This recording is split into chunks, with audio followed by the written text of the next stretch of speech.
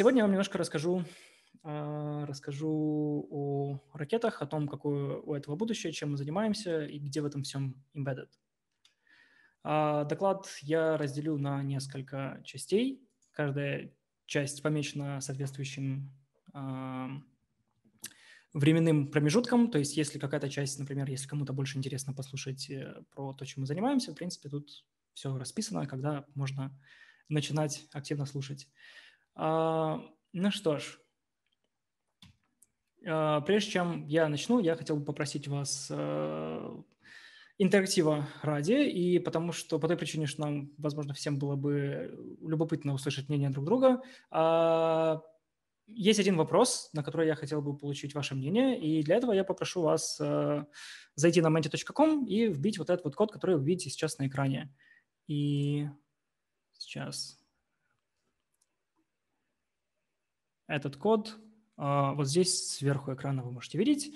Э, я предлагаю вам ответить одним словом или буквально в паре, в паре слов. Э, какая, по вашему мнению, в настоящий момент э, основная проблема украинского аэрокосмического сектора. Я думаю, где-то минуту мы можем на это потратить, минуту или там полторы. Да, по мере того, как э, люди будут отвечать, эти ответы будут появляться здесь, и мы все на них посмотрим. Я думаю, что всем нам будет любопытно.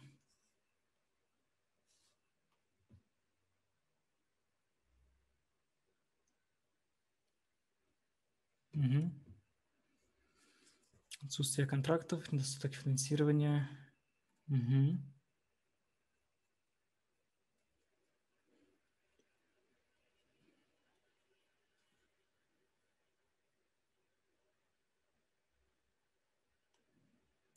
Деньги. Вот кто-то написал про uh, low support.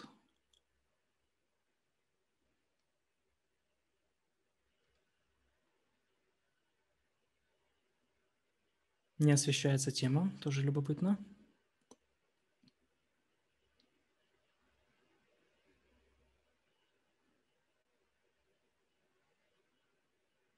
Холодная цеха, системные проблемы.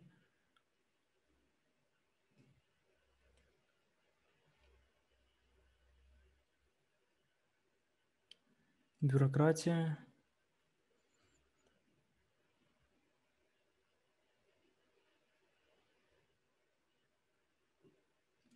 Низкий приоритет, ух ты. Много интересных вариантов. Давайте еще 30 секунд подождем, я думаю.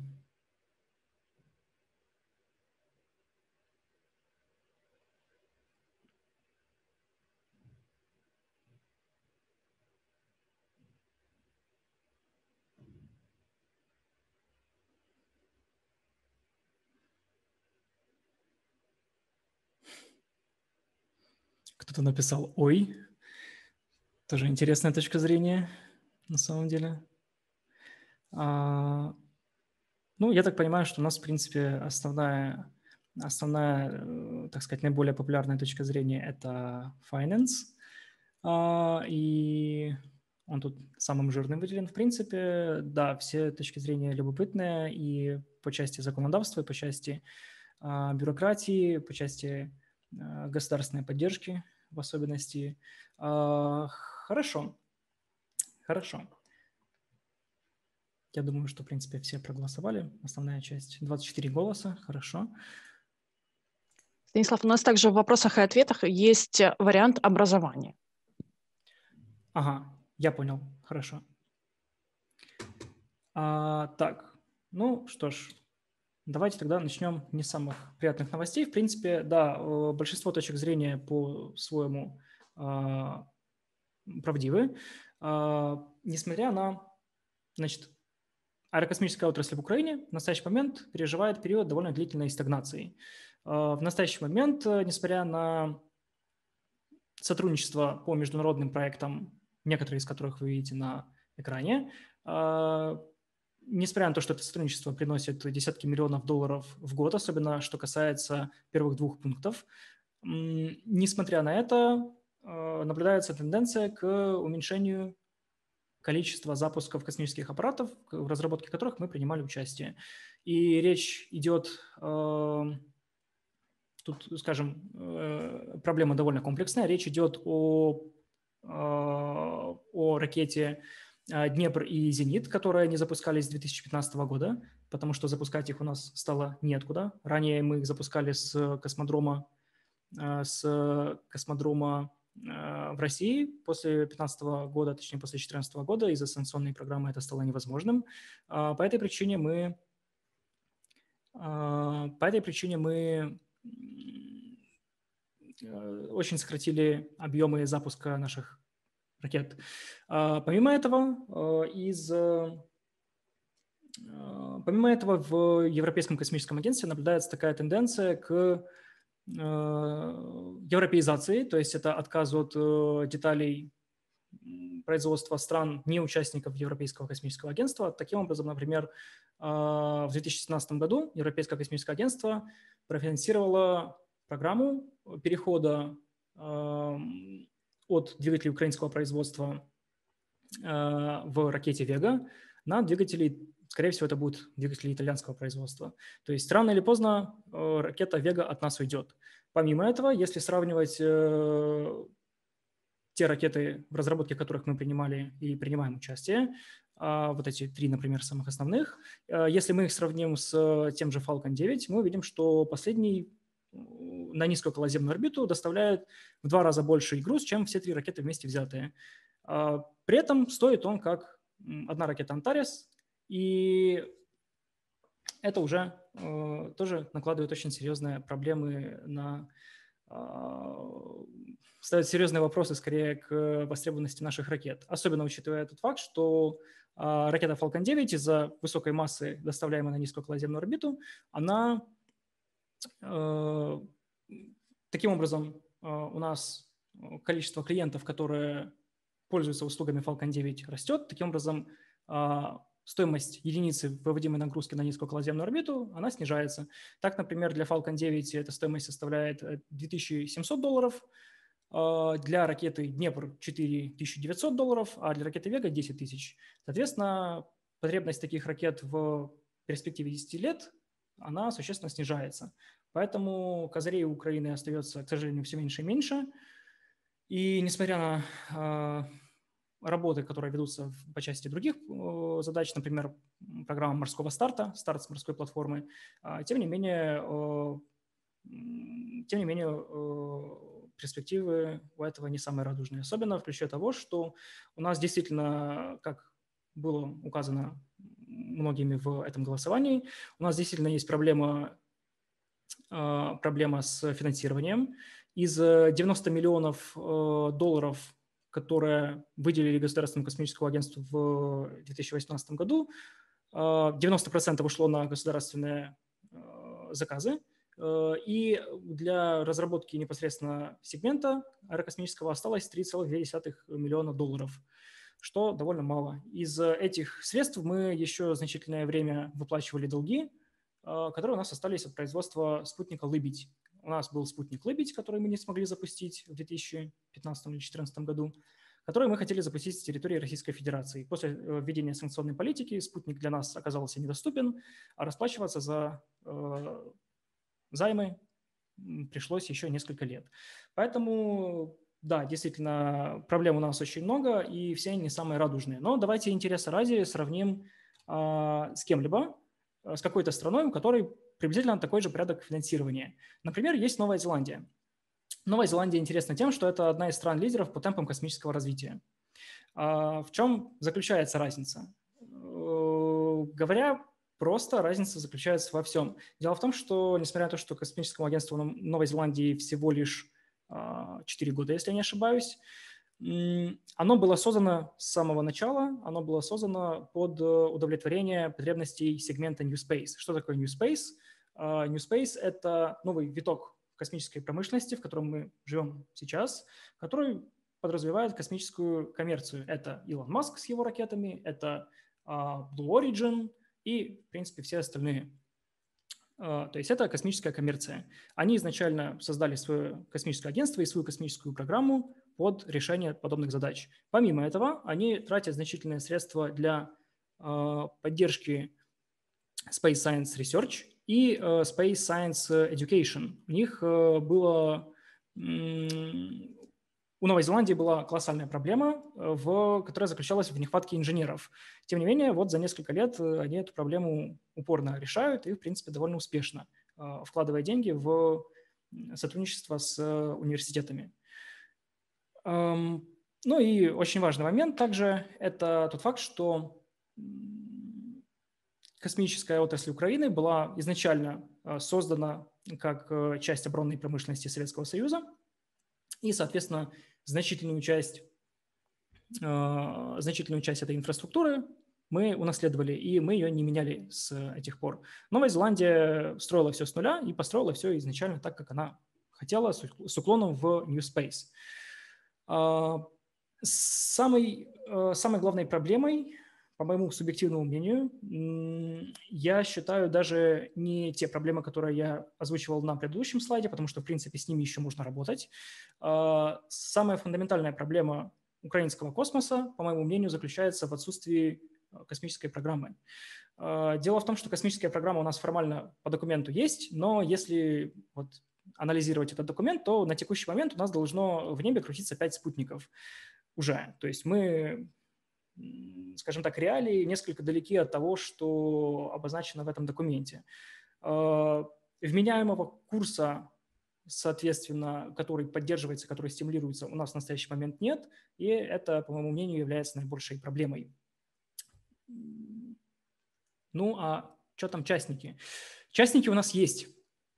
По центру расположились две компании Макса Полякова. Это предприниматель из Днепра, который в 2017 году выкупил Firefly Space Systems, обанкротившийся, и на его месте создал Firefly Aerospace, э, который сейчас готовит ракету-носитель э, к запуску. Э, между прочим, насчет Firefly Aerospace очень интересный момент, что у них существует R&D-центр как в Штатах, так и в Украине. То есть это полноценная, можно считать, такая вот частная компания, которая вот здесь у нас строит какую-то инфраструктуру, что очень приятно. По бокам расположились э, два стартапа. Одни – это киевляне Space Cossacks. Начали с Дмитром Хмарою, который тоже, кстати, программист. Не знаю, если он на стриме и если он э, в комьюнити. Если что, передаю ему привет. И Space Logistics. Не знаю, если вы на стриме, но вам тоже привет. Э, Space Logistics из Днепра. Что Украина может, в принципе, делать, основываясь на на, э, на том, что делает Новая Зеландия. Если мы возьмем Новую Зеландию за образец и сориентируемся на New Space, что мы можем производить? А, что мы в состоянии производить? А, мы уже производим а, spacecraft компоненты, ракетные двигатели первой ступени, например, для ракеты Antares. Мы уже производим наземные системы, это TTNC, телеметрия, трекинг и управление. Мы очень довольно-таки сильны в том, что касается IT-разработки, несмотря на то, что пишут на любимых ресурсах. Э, тем не менее, мы можем найти специалистов, если захотим. Сам факт наличия R&D э, в Днепре э, Firefly Aerospace – который в себя включает значительное, значительное количество IT-специалистов, об этом говорит. А, мы можем строить микроспутники, и КПИ тому хороший пример. КПИ запустил два микроспутника, один из которых до сих, пор, до сих пор болтается на орбите. Как-то не странно, на самом деле, ему уже на самом деле пора. А, и мы предоставляем Space Logistics, во всяком случае, сейчас предоставляет еще и Legal Services, что тоже очень приятно в контексте политики New Space. Это довольно актуальное направление, консультация а, по тому, что относится к Space Law. Из того, что мы не делаем, это суборбитальные полеты, а, но основываясь на опыте других стран, мы знаем точно, что мы можем это сделать. И на этой теме я бы хотел сфокусироваться а, в последующем. Что такое суборбитальное ракетостроение? Суборбитальное ракетостроение – это любые ракеты, которые не выходят на орбиту. То есть к ним относятся измерительные ракеты, научные, к ним относятся противоградовые ракеты, к ним относятся космический туризм, к ним относятся э, космические грузовые перевозки и даже баллистические ракеты. Все это э, суборбитальное ракетостроение. Э, суборбитальное ракетостроение делится на две такие глобальные части. Это профессиональное и любительское. Любительское еще называют экспериментальным иногда.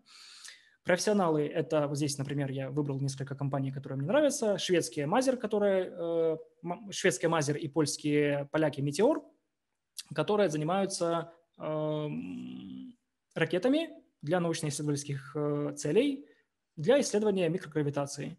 И Bristol Aerospace, к примеру, который занимается ракетой Black Brant, э, тоже научная ракета для научных исследований. Из экспериментальных, э, из экспериментального сегмента можно выделить, в принципе, три подгруппы. Это соло-проекты, из которых я вот выбрал Ричарда Наку и Джо Барнард. Джо Барнард э, интересен тем, что, а, что он занимается разработкой небольших ракет с вертикальной посадкой, как у Илона Маска, и вектором управления тяги. Поэтому у него есть свой канал на YouTube, BPS Space, там весело, задорно, так что рекомендую. А, инициативные группы. А, инициативные группы часто строятся на основании части университетов. Это Днепровская ноосфера, которая в настоящий момент является лидером вообще э, суборбитальных ракет в Украине. Это киевский Now Rocket. Э, и вот разнообразие ради Copenhagen Suborbitals, который, собственно, в Копенгагене занимается разработкой э, суборбитальных ракет э, довольно, довольно высокого уровня сложности. А стартапы. Тут вот э, два стартапа, которые я уже упомянул. Это Space Logistics и Space Cosax. И тут скромно на первом месте находится MW Labs, э, который, который, про который я сейчас немножко расскажу. Чем стартапы фундаментально отличаются от инициативных групп. А, они отличаются тем, что у стартапов есть четкая политика монетизации и определенная тактика, которой они придерживаются. А, в отличие, например, от Ноосферы или Rocket, потому что в Ноосфере или Rocket э, люди строят ракеты, чтобы полететь чуть выше, чем в предыдущий раз. А, мы занимаемся тем, что мы э, ориентируемся на решение определенных технических задач, которые востребованы на рынке. Если бегло сравнить э, суборбитальное ракетостроение украинское и Соединенных Штатов Америки или Европейского Союза, мы увидим, что э, в отличие от э, этих стран, Европе... США и Европейский Союз, у нас практически отсутствует вовлечение, вовлечение студентов и какие-либо программы для, для стимулирования интереса к этому вопросу. А, у нас э, отсутствует э, у нас отсутствует юридическое регулирование того, что называется high power rocketry. А, у нас существует только Федерация ракетомодельного спорта в Украине, которая, которая занимается ну, крайне простыми ракетами, и на этом все ограничивается. И по части образования у нас существуют э, две инициативы, которые это стимулируют. Это Ноосфера и это No Rocket. Это хорошо, но это, к сожалению, недостаточно на фоне других стран. Например, в той же Польше это направление развито гораздо интенсивнее. Ну и теперь немножко о нас. Кто мы такие? Мы э, киевская, э, киевская команда, которая занимается э, экспериментальным ракетостроением, ракетостроением и ориентируется на коммерцию в этом направлении. Мы занимаемся разработкой нескольких направлений. Мы занимаемся разработкой ракет, что включает в себя а, инженерные решения и бортовую электронику. А, мы занимаемся разработкой наземных систем, что включает в себя лаунчеры и системы телеметрии и контроля. И мы э, занимаемся разработкой двигателей, а, то есть полный цикл проектирования, разработка топлив и создание сопутствующего оборудования для их тестирования. Например, Trust Sense – это тесты для тестирования тяговых характеристик двигателя. Таким образом, мы занимаемся комплексно э, всем, на основе чего мы можем строить дальнейший бэкграунд. Что это за бэкграунд? Э, мы, э, мы ориентируемся на два продукта коммерческих, который, один из которых это противоградовые ракеты, и второй это наблюдение, это высотное наблюдение.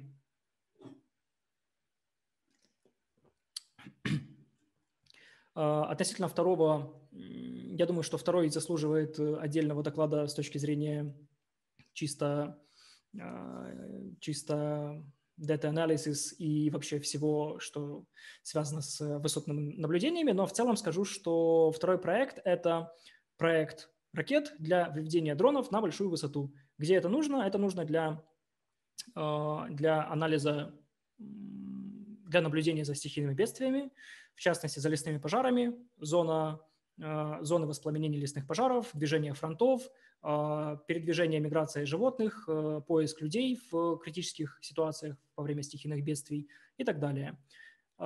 Суть проекта заключается в том, что доставляя дроны на большую высоту ракетами, мы, по сути, можем сделать такой эрзац-спутник, который э, довольно долго висит и наблюдает за этим всем делом сверху.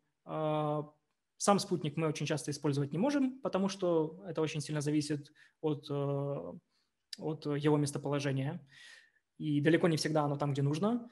А, а сами дроны по себе мы тоже использовать не можем, потому что дроны во время подъема, они тратят там, 50% э, своего заряда, еще 10% они тратят на спуск, и в итоге остается 40% времени, которое, которое они могут посвятить а, непосредственно наблюдению, что неэффективно. Таким образом, мы повышаем эффективность.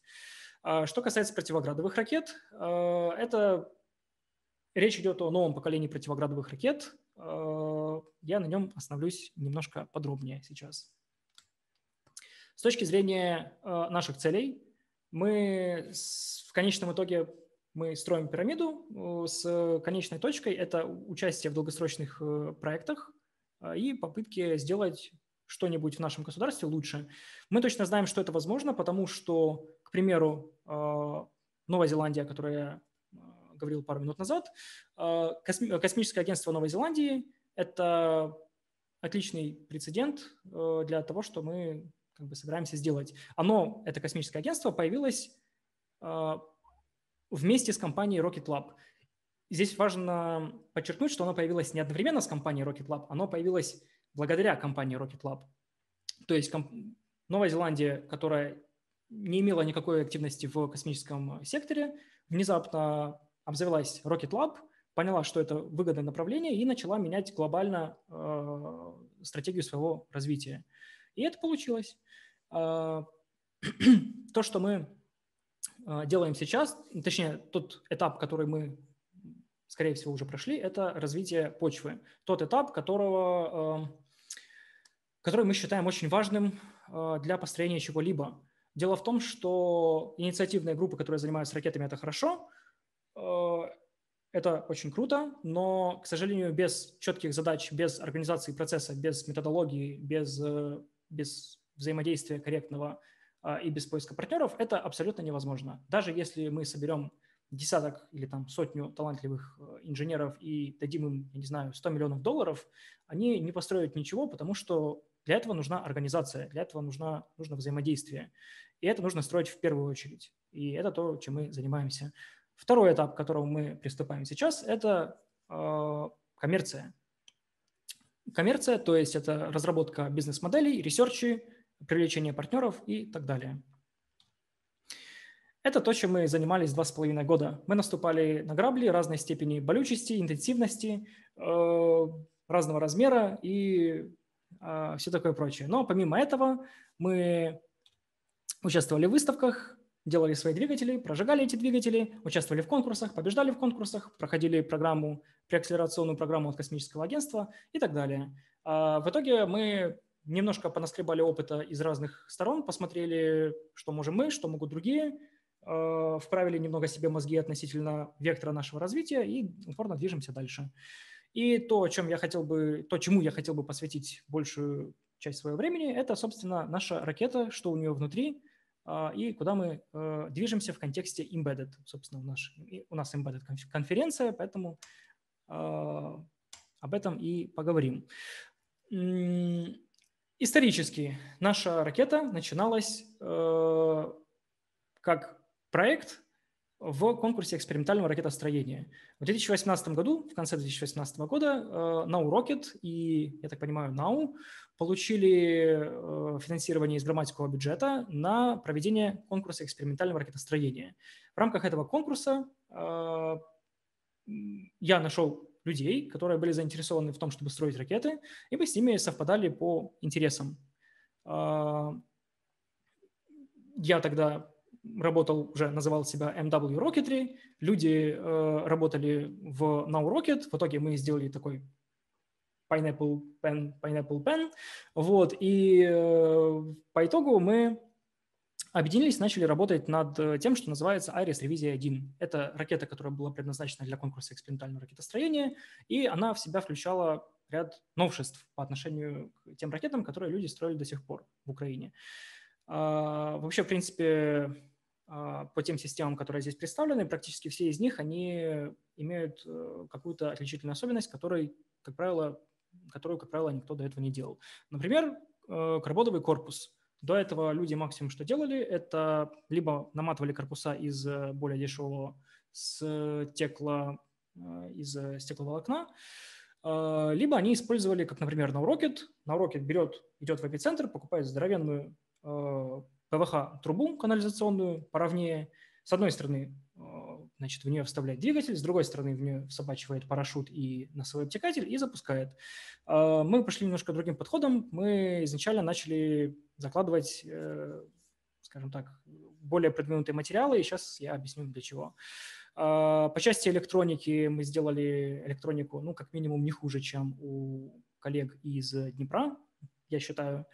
А, эта ракета была модульной, о чем я тоже сейчас расскажу. А, у нее был узел стыковки бортового компьютера.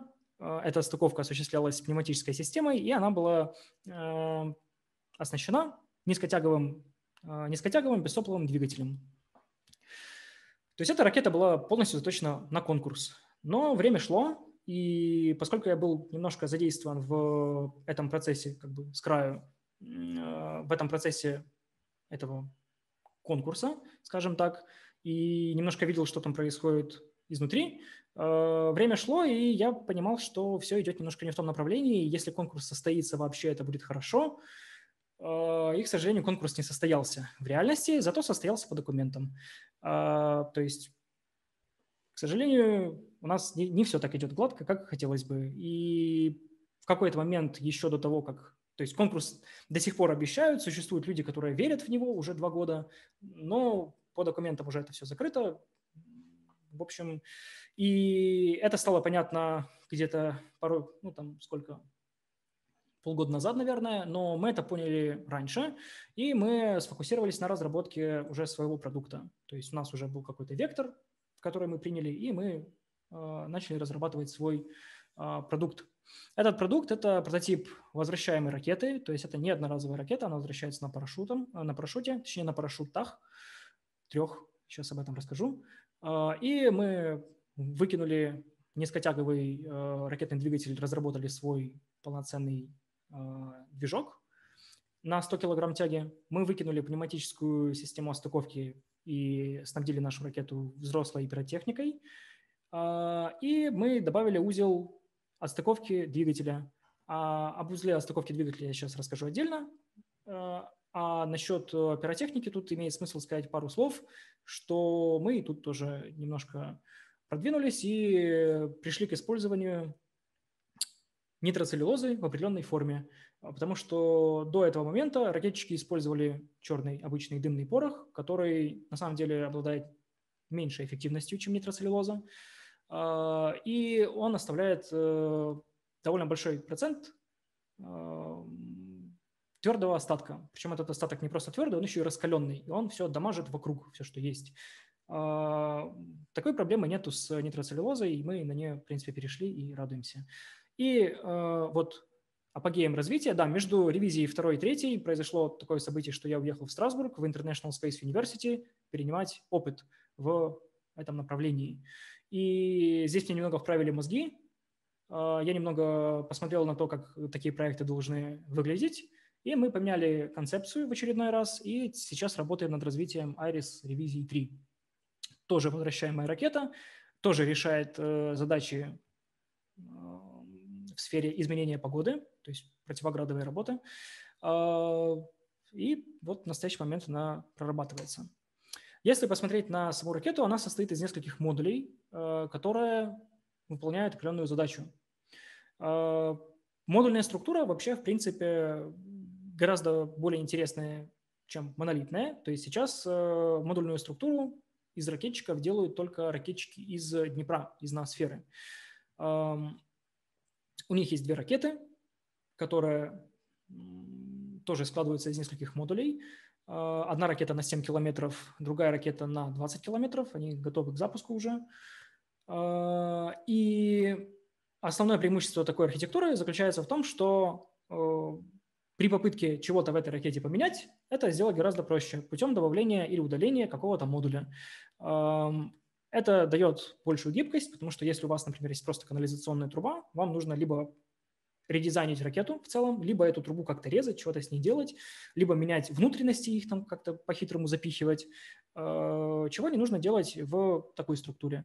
Под это все у нас, э, если посмотреть на стабилизаторы, они такие здоровые. А, то есть э, мы специально заложили чуть больше стабилизаторы для того, чтобы была возможность эту ракету удлинить. А, то есть мы можем добавить сюда еще целое, целый модуль, наверное, сантиметров на 40 длиной. И все это будет прекрасно работать. Ну, либо там несколько модулей, либо несколько модулей, там, там два модуля по 20, например. Модуль двигателя. В модуле двигателя совершенно неожиданным образом располагается двигатель. А, значит, э, помимо двигателя у нас э, предусмотрен узел отстыковки. А, отстыковки этого самого двигателя, а, который вот здесь вот, я не знаю, виден ли мой курсор, надеюсь, что да, который вот здесь вот в правой части разрезан. Что это за узел отстыковки и зачем он нужен? Дело в том, что вообще в целом задачи, которая решает, э, решает, эм, наверное, как, как бы это так сказать, э, embedded в контексте ракет решает э, спектр немного нетрадиционных задач.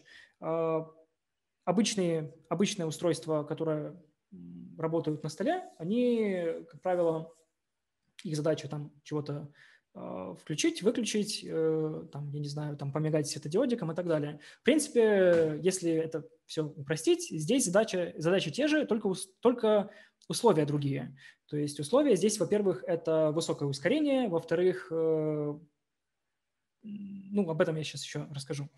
А, и, соответственно, другие задачи. Например, если запустить ракету с, с значит, Хорошо. Как сейчас работает? Ставят ракету, а, запускают ее вертикально. В верхней точке ракета раз, расчехляется, что ей необходимо выпустить парашют. А, выпускает этот самый парашют, и дальше вся команда, которая стоит а, в районе стартового стола, весело и с неистовым задором несется за этой ракетой, которую ветром сносит черт пойми куда. И может снести на километр, например. Несется по колючкам, по кочкам, там по всему, чему только можно. Это то, как это работало раньше. После этого люди смекнули, что можно в ракету установить два парашюта.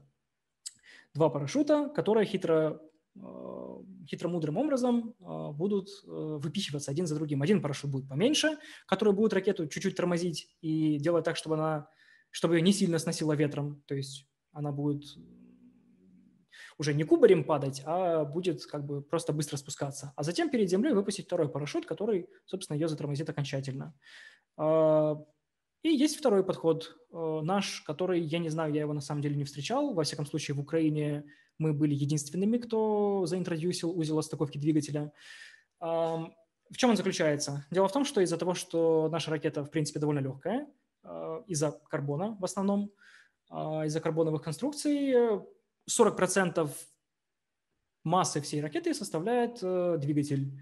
А, исходя из этого, у нас как бы есть две опции. Либо тащить огромный два парашюта, а, один из которых будет здоровый, для того, чтобы эту всю а, ерунду затормозить, либо а, перед посадкой выбросить двигатель и обойтись парашютом поменьше. То есть э, двигатель, в принципе, можно, поскольку он стальной, его можно сажать на довольно большой скорости.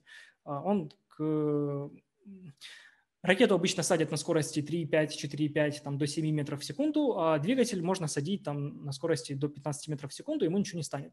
Поэтому по задумке перед э, во время спуска, значит, вся эта конструкция спускается вместе, а по достижению отметки 400 метров двигатель выпускается на своем парашюте, и ракета после этого, значительно облегчаясь, тормозит окончательно и падает на своем парашюте поменьше. За счет этого экономится ресурс. Все счастливы. Вот здесь это не показано, но, точнее, здесь этого не видно, но там есть термоизоляция, вокруг двигателя, и вокруг нее намотан парашют. И этот парашют установлен таким образом, что двигатель садится горизонтально и не дамажится во время падения. Чуть детальнее а, этот узел показан на рендере слева. Не то чтобы этот рендер был призван а, объяснить механизм его работы, но скорее того ради, чтобы показать, что этот узел довольно насыщенный, в нем целая куча разных элементов, которые проверялись, подгонялись а, в общем, работы в него было заложено не так мало. А, ну, чертеж по центру скорее для понтов, для того, чтобы показать, что вот у нас вот есть такая деталь, вот это она в центре, если что. И узел термической развязки. Дело в том, что двигатель, он, он довольно-таки здорово раскаляется, и приходится решать такие задачи, как э, термическая развязка, э, которая не позволяет раскаленному двигателю воздействовать на детали, э, на детали ракеты, в данном случае пластиковые детали ракеты, за которые он цепляется. Не то чтобы этот узел прям действительно был критичен в этой ракете, но мы его закладывали, потому что это делать правильно. Электроника. Электроника представлена тремя системами. Четвертая система э, – это система управления траекторией а, в настоящий момент приостановлена. Тем не менее, мы о ней еще немножко поговорим чуть-чуть. А, электроника э, в подобной ракете состоит из нескольких блоков. Это бортовой компьютер, сам который решает основные вычислительные задачи. Это телеметрия, которая связывается с Землей. И это система спасения. В нашем случае система спасения управляет пиротехникой для выброса парашюта и э, э замком, отстыковывающим двигатель. На рендере слева представлен, э, представлен основной бортовой компьютер, э, в который входит сама плата вычислительный модуль, который анализирует давление, ускорение и прочие параметры, необходимые для, для управления полетом. И, собственно, плата с сенсорами. Сенсора у нас напихано много. У нас напихан датчик давления, Э, в качестве датчика давления э, у нас используется MS5611, который э, ставят в, в полетных контроллерах дронов часто. Из ускорения у нас акселерометр и гироскоп, в принципе, обычный MPU 6050. И помимо него у нас установлен GPS с магнитометром. Вот его антенна красуется здесь сверху.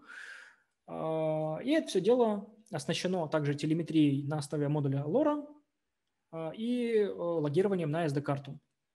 К слову говоря, я не знаю, кто э, смотрит ли кто видео, но эта электроника сейчас находится здесь у меня. Она не, не то, чтобы она была в дико презентабельном виде, а, но я понимаю, что она отличается от того, что вы видите на рендере, но тем не менее вот Тут э, вот есть какие-то заплатки, воркараунды, провода брошены э, во время быстрой подготовки к запуску, брошены провода на какие-то пины э, довольно наглым образом. Э, но в целом э, эта электроника вот именно в таком виде была собрана. И тут вот можно еще заметить э, два слота, в которых ничего нет. Ну, один здесь, а другой с противоположной стороны. Это слоты, в которые ставятся сервоприводы, которые обеспечивают управляемый спуск. Как я уже сказал, а, ракета у нас полностью возвращаемая, все ее части возвращаются на Землю безопасно, и у нас изначально дизайном был заложен а, функционал управляемого спуска. Пока что из людей, которые заимплементили управляемый спуск, это американская компания Apogee Rockets, а, которая это сделала ну, там, пару лет назад, если я не ошибаюсь, и это довольно неплохо у них работало. Во всяком случае, при небольших ветрах. А, то есть, да, можно управлять стропами парашюта так, чтобы в автономном полностью режиме, так, чтобы сажать всю эту, значит, всю эту ерунду в какой-то конкретной точке. Ну, слева это скриншот из э, разработки. Разрабатываются все эти вещи в SolidWorks. Здесь на скриншоте, и точнее на рендере, наверное, лучше это видно. А, полная сборка бортового компьютера плюс, а, плюс э, плата телеметрии. И вот здесь даже видны качалки для серв, которые обеспечивают управление а, парашютом во время спуска. Теперь а, по поводу того, как это управляется, э, как это управляется, ну, в общем, как это управляется в целом. Значит, э, по дизайну Iris Ревизия 2, то есть та, которую я сейчас э, объясняю, это ракета, которая поднимается, это, это прототип, то есть на нем мы планировали отладить взаимодействие компонентов, снять необходимые данные полетные – и в дальнейшем его э, модифицировать, этот прототип, уже к конкретному продукту. Алгоритм его работы, наверное, там, по-моему, на следующем слайде будет рассмотрен, сейчас я о нем расскажу. А перед вами три платы, которые мы а, использовали, три из четырех на самом деле. Плату главного компьютера я, к сожалению, найти не смог, рендер. Вот здесь вот по центру красуется а, красуется акселерометр гироскоп, а, рядом, если я не ошибаюсь, магнитометр и несколько силовых ключей, которые обеспечивают а, в нашем случае они обеспечивают э, оптический, оптический канал связи, они активируют, там, открывают, закрывают светодиод, для того, чтобы связываться между различными модулями ракеты. И об этом я сейчас чуть-чуть расскажу в дальнейшем. Ну, вот модуль, опять же, модуль э, системы, системы управления э, пиротехникой с силовыми ключами, вот эти вот э, небольшие микросхемы, VT1, VT2 – это силовые ключи, э, которые управляют, которые управляют э, сервой в замке отстыковки двигателя – и которые управляют э, пиротехникой во время стыковки э, остальной части ракеты, во время выброса парашютов. Ну и плата телеметрии. В общем-то, все у нас построено на контроллерах STM32. А, и я расскажу, э, значит, эти контроллеры – это STM32 и F103, ширпотребные контроллеры. Мы их использовали, потому что они, в принципе, прекрасно выполняли вот эти задачи. А, но в будущем я расскажу, куда мы двигаемся и что у нас будет стоять, скорее всего. На всех этих контроллерах э, крутится RTOS, операционная система реального времени, э, которая, собственно, всю эту систему менеджит. А теперь о том немного, как это работает внутри. Точнее, как, как это работает, э, в общем, какая, собственно, последовательность всего имеет место быть в ракете, на Земле и в воздухе? А, ну, во-первых, у нас, как я уже упоминал, а, есть э, поддержка SD-карты. На этой SD-карте записан определенный конфиг, который позволяет какие-то датчики включать, конфигурировать, задавать им интервалы опроса и так далее. А, это, в принципе, такой полноценный конфигуратор, который все это значит, э, считывает конфиг-файл в формате JSON, парсит его, находит ошибки. Если ошибки обнаружены, то он абортит миссию. Если не обнаружены, значит, э, двигаемся дальше. У нас э, мы заинтродюсили тут state-машину. Э, насколько мне известно, зачастую обычно ракетчики не парятся и, и пишут все условия ифами буквально.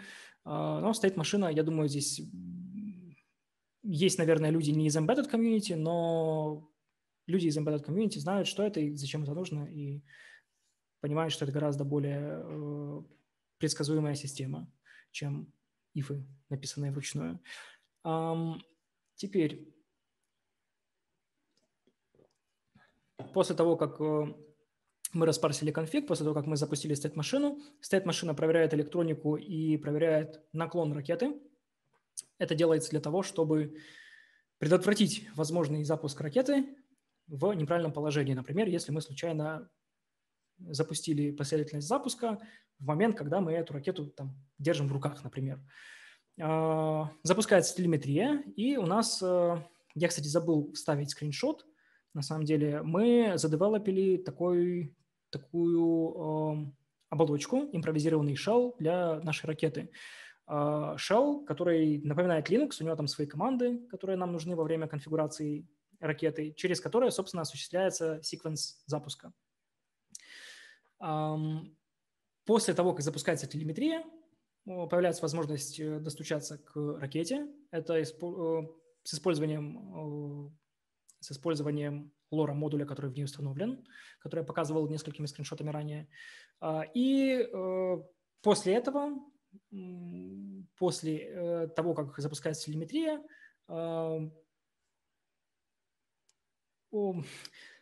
мы, значит, Вообще подготовка ракеты к запуску – это довольно комплексная процедура. Я эту всю решил не расписывать, но есть один из этапов, э, во время которого мы фиксируем э, ракетный двигатель. Э, как вы помните, ракетный двигатель у нас может отстыковываться, поэтому его нужно еще как-то зафиксировать. Он хитромудрым образом вставляется в специальный разъем и там зажимается надежно. Фиксируется ракетный двигатель. Когда это произошло, когда все отлично ракета переходит в режим ожидания активации. И когда это происходит, ракета еще раз проверяет, под каким углом она находится, все ли в порядке с сенсорами, то есть она считывает датчики сенсоров, э, проверяет, вписываются ли они в определенные значения.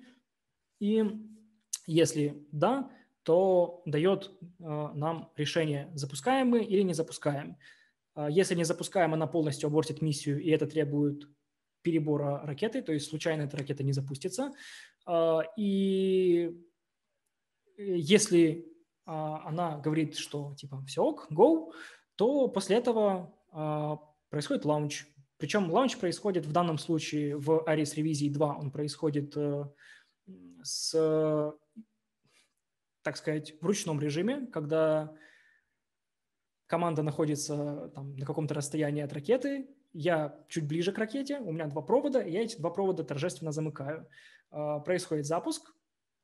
А, значит, в будущем в Ares ревизии 3, которую мы вообще, в принципе, э, пока что не раскрываем, но а, будет запланирован уже автономный запуск. То есть ракета будет сама себя запускать, и вмешательство человека будет требоваться только для того, чтобы, в общем, сообщить ей какие-то определенные параметры предстартовые.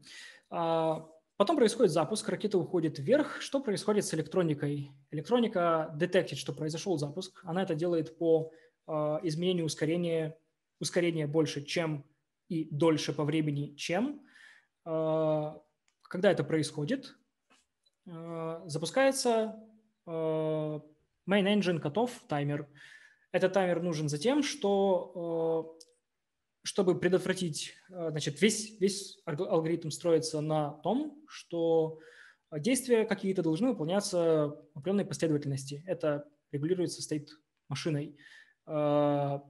Э, если по какой-то причине мы не смогли задетектить, что у нас отработал двигатель, э, у нас следующий элемент последовательности запускается по таймеру. Это так называемый аварийный таймер, вот этот, который здесь называется Main Engine Cutoff Timer. Если мы срабатываем, мы в любом случае инициируем э, алгоритм э, детектирования апогея. В алгоритме детектирования апогея тоже есть свой таймер, тоже аварийный, на случай, если мы по какой-то причине не смогли в течение времени дольше, чем, э, которая задается на этапе в конфиг-файле, которая задается в конфиг-файле, если мы не смогли обнаружить верхнюю точку апогея. В верхней точке апогея, если все нормально, мы выпускаем парашют, причем это происходит интересным образом. Из-за... Э, нужно сказать, что из-за того, что наша ракета менялась, она вообще исторически росла к той... Э, исторически происходила от э, ракеты, которая должна была участвовать в конкурсе, в которой не было ни, ни пиротехники, ничего.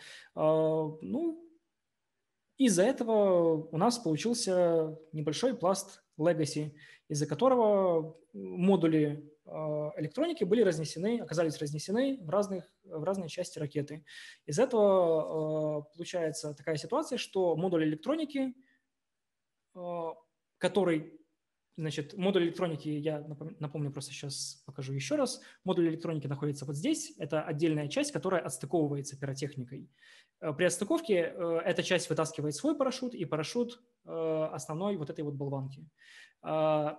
И этот модуль, он сам все внутри считает, он приходит к тому, что окей, я нахожусь в точке апогея, отстыкуйте меня. И он посылает сигнал в модуль Recovery System – для того, чтобы его отстыковали. А, это он делает через специальный оптический канал, о котором я потом, возможно, отвечу в Q&A session, там есть о, о чем поговорить. Отправляет сигнал а, через оптический канал в Recovery System, которая инициирует выброс срабатывания пиротехники и выброс парашютов. То есть, то есть на пункте 6 отправляется сигнал по оптическому каналу «Отстыкуйте меня». А, после этого выбрасываются парашюты, и управление передается модулю Recovery System, а именно Motor Separation Controller, который дальше, у него есть свой барометр, и он детектирует, если высота а, спускаемого аппарата внезапно стала меньше 400 метров, происходит разделение ракеты и отстыковка двигателя. После этого ракета окончательно тормозит и спускается уже на небольшой скорости, и двигатель спускается на скорости порядка 15 метров в секунду на Землю. Результатом этого всего, если все эти секвенсы прошли успешно, является все три элемента, то есть двигатель, э, болванка и электроника, спускаемые на парашютах как бы все счастливы. Что произошло 24-го запуска? Если вы были на, если вы следите за тем, что происходит у нас, у нас 24 августа, 24 э, августа был тест, э, и во время запуска у нас произошла аварийная ситуация. Значит, отработало, в принципе, практически все, но пункт номер 5 произошел значительно раньше, чем это э, было запланировано. Почему так произошло? Э, это произошло из-за эффекта Бернули. Значит, э, особенностей embedded для ракет, о нем мы, наверное, сейчас еще затронем эту тему немножко, поговорим. Но особенности embedded ракет заключаются в том, что то, что работает на столе, ну, далеко не всегда работает в реальной жизни. А, в реальной жизни ракета, которая а, проходит, а, проходит э, через атмосферу на высокой скорости, э, теряет давление внутри из-за эффекта Бернули. давление внутри падает, из-за чего на начальном этапе, когда ракета ускоряется, это вроде как никак не влияет, но зато когда ракета перестает ускоряться и скорость ракеты начинает падать, э, давление внутри обратно начинает возрастать. И в нашем случае ракета трактовала это как точку перехода через апогей. То есть в обычной ситуации, если бы давление внутри не менялось, это был бы правильный э, сценарий. То есть ракета доходит, давление уменьшается во время подъема, после этого она переходит через точку апогея, давление начинает снова увеличиваться, а, и происходит выброс парашюта. В нашем случае из-за эффекта Бернули, к сожалению, мы об этом знали, и все равно мы не смогли это, я конкретно не смог это учесть корректно. Э, из-за этого ракета выбросила парашюты на огромной скорости, э, парашюты сорвало, надо сказать, что скорость э, составляла в этот момент порядка 900 км в час. Это скорость крейсерская скорость Боинга 737.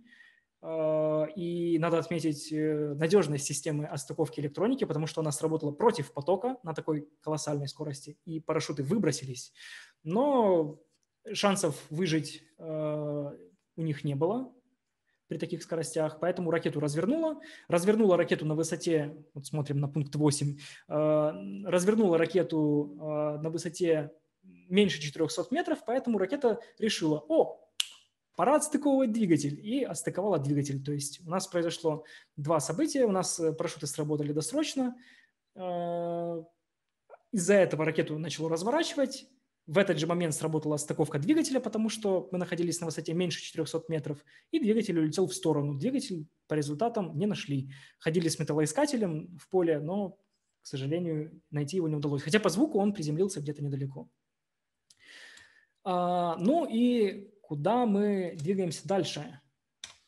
А, вообще, в целом, а, требования к электронике ракетной а, довольно серьезные. И то, что мы заинтродюсили в Iris ревизии 2, на самом деле еще импровить и импровить. Импровить в какую сторону? Во-первых, любая электроника во время серьезных ускорений, в нашем случае ускорение составило больше 60 G, точно мы не можем сказать, но точно больше 60. То есть это ускорение полноценной такой боевой ракеты.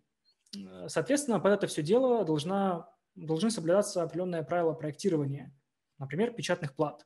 Например, э, по минимуму деталей, которые крепятся на ножках.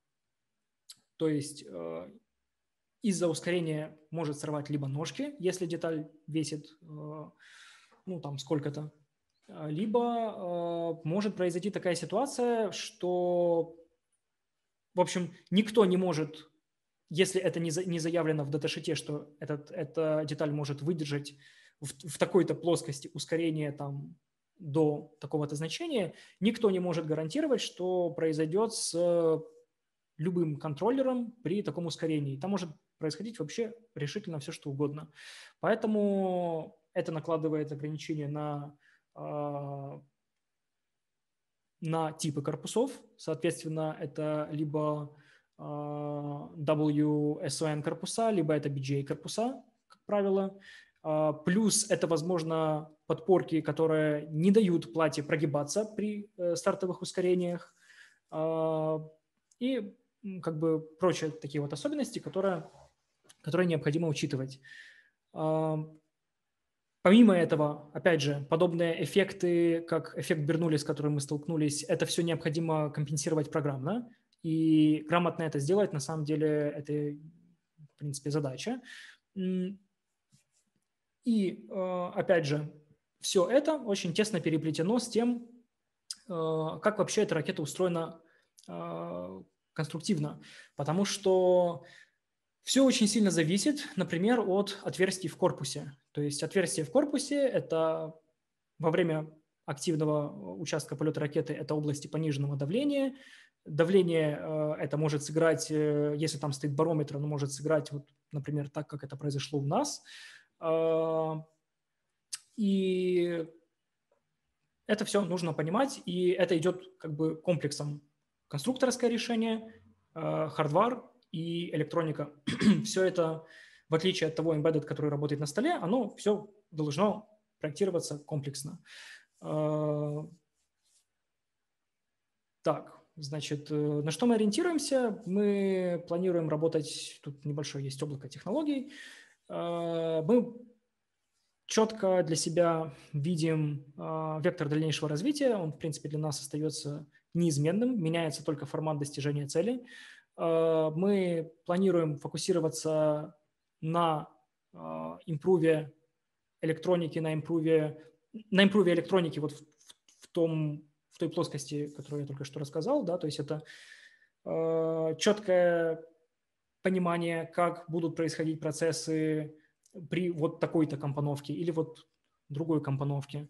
Э, то есть это комплексная проработка вот этих узлов, это э, более углубленная разработка э, софтварных решений, чтобы у нас не случалось больше таких косяков, как с эффектом Бернули. Э, и Э, помимо этого, мы работаем над переходом на новые двигатели, на новое топливо. К примеру, сейчас в разработке э, композитное топливо для Iris третьей ревизии. Э, композитное топливо, которое сейчас оптимизируется, испытывается, под него будет создаваться отдельный тягоизмерительный стенд, скорее всего. И то есть это еще один участок работы. Помимо этого мы работаем с э, наземными системами. Вот, например, э, коллектив Now э, анонсировал, что они строят систему трекинга, трекинга ракеты антенна-трекинг, то есть установлены две антенны, в их случае это антенны Яги, которые в реальном времени направляются на ракету для того, чтобы получать оттуда сигнал телеметрии. У нас, в принципе, такая система тоже есть в виде прототипа, но в настоящий момент э, мы над ней не работаем ввиду нехватки ресурсов и ввиду того, что э, решить эту задачу красиво, это займет очень много времени, там требуется и серьезный мотоаппарат, и, в общем, разные вещи, потому что ракета быстро двигается, там возникает и сдвиг э, смещения доплеровское, и необходимо учитывать время задержки отклика э, самой конструкции, которую, эту, э, которую вот эти вот антенны вращает. То есть это очень комплексная задача, на решение которой нужно потратить довольно немалый ресурс. Э, и в первую очередь временной ресурс. Вот. Э, у нас сейчас, к сожалению, такой роскоши нет. Э, помимо этого мы ищем а, ищем партнеров, которые могли бы нам проассистировать в самых разных моментах. Это и финансовый момент, это и момент э, консультаций, например, legal, э, legal consultations, это бизнес-модель и так далее. То есть мы активно перенимаем опыт, стараемся. А, мы собираемся в дальнейшем, я не помню, сказал я уже об этом или нет, собираемся продолжать участвовать в выставках, привлекать к себе внимание, и, в общем, мы четко движемся к направлению коммерциализации вот этой вот идеи с противоградовыми ракетами. Я думаю, возможно, у кого-то будут вопросы во время Q&A session, я на них отвечу детальнее. Я имею в виду по, по противоградовым ракетам. Ну и что нам для этого не хватает? Э, по большей части нам не хватает ресурсов. Э, в первую очередь это люди, которые заинтересованы в разработке таких ракет. Потому что, как я уже упоминал ранее, для нас очень важно построить организацию, построить э, структуру взаимодействия между людьми, при которой можно эффективно выполнять какие-то задачи. Только в этом случае это стоит того, чтобы это было профинансировано. Иначе это просто хаотичная какая-то деятельность, и, в общем-то, перспективы у такой деятельности немного. А, но в первую очередь это, это все упирается в ресурсы. Для того, чтобы строить взаимодействие между людьми, внезапно нужны люди. Людей у нас мало, нас сейчас пять человек. А, химик, а, инженер, проектировщик конструкционных решений, это инженер, хардварщик, Э, инженер-двигателист, э, ну и я как бы, вот. Э, и на самом деле ресурсов у нас не хватает как для разработки наземного сегмента оборудования, это тягоизмерительные стенды, их нужно импровить, это дистанционный запуск, потому что во время предыдущих испытаний мы извлекли очень мотивирующий урок, что вообще-то ракета, которая падает в непосредственной близости от тебя со скоростью 900, 900 км в час, это, ну, это, наверное, не очень хорошо. И вообще-то нам лучше находиться как можно дальше от такой, а, такой дурынды.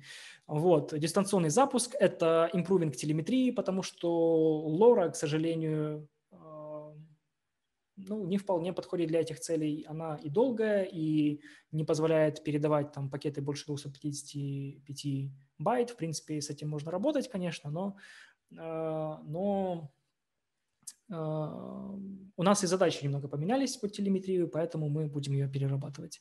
Э, и опять же, это ресурс разработчиков, потому что были попытки найти разработчиков в, в кругах студентов, но, к сожалению, сожалению, далеко не все, точнее, подавляющее большинство студентов, они работают с там, Arduino, э, такими вот вещами, и по сути это будет большая трата времени, собственно, на, на менторинг. Вот. Если бы у нас получилось найти э, программистов, которые занимаются этим, которые хотят заниматься ракетами которые хотят работать вот в embedded в контексте ракет, это было бы просто превосходно. Ну и, конечно же, поскольку мы ориентируемся на рынок, э, мы э, нуждаемся также в юридической консультации. Сейчас, в принципе, работаем над этим. Это и по э, тому, где запускать, и тому, как запускать, и с кем согласовать, и по перевозке, как это правильно, корректно делать, потому что перевозки потребуются как минимум на полигон для испытаний, и на производство, а, что хранить, что не хранить, что хранить там в одном месте, что в другом и так далее. Вот. Э, после этого всего мы планируем искать партнеров и, соответственно, дальше инвестиции. А, на этом этапе, пожалуй, у меня основная программа подошла к концу. Я с удовольствием отвечу на ваши вопросы. Воля. Спасибо за внимание.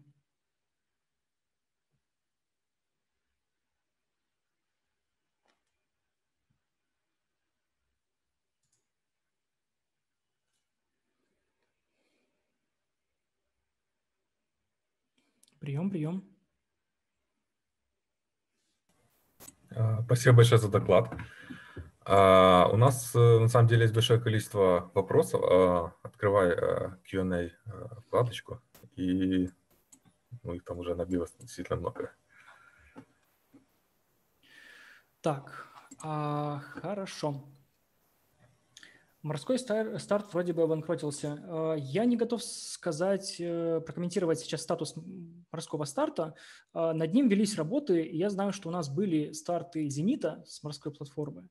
Но, к сожалению, к чему это пришло сейчас, сказать очень сложно. Насколько я помню, насколько я помню,